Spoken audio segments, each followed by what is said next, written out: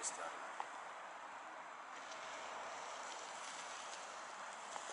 Если ты говоришь, не мой, то он говорит, то ты субтримуна.